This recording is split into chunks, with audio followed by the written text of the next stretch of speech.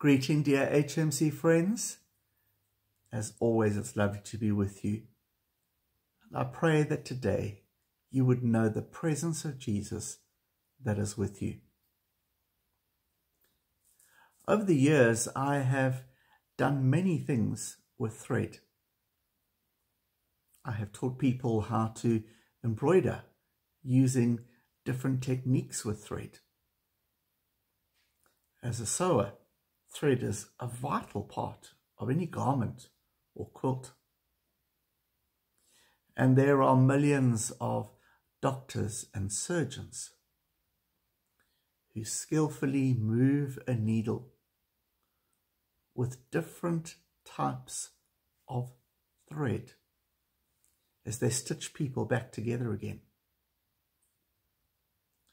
And when I teach people, it always starts off with the knot. How do you make a successful knot? There are all sorts of little methods that people have. But of course, then there are the purists who say, you cannot knot. You sew it in neatly so no one else can see. But that thread is what may hold veins together, may attach a new organ like a transplanted heart, or would hold the pieces of clothes that we wear. Thread is vitally important. And so we have sayings where we sometimes say, I'm hanging on by just a thread. And I know some of those feelings at times when it just feels like we've just been hanging on by a thread. Particularly in ministry as we stand alongside people and we share with them some of their pain and their grief. But there is a thread that holds us together. And I want to read the beautiful poem by William Stafford. There's a thread you follow, but it goes among the things that change. But it doesn't change. People wonder about what you are pursuing you have to explain about the thread. But it's hard for others to see. While you hold it, you can't get lost.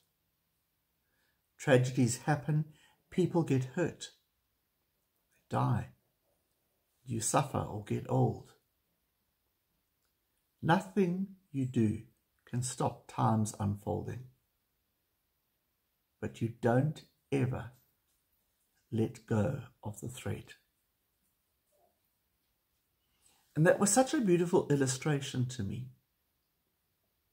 of how the threads hold us together. And for us as Christ followers, that would be our belief in God through our Saviour Jesus Christ. That just like that skillful surgeon stitches together where our clothes are stitched together.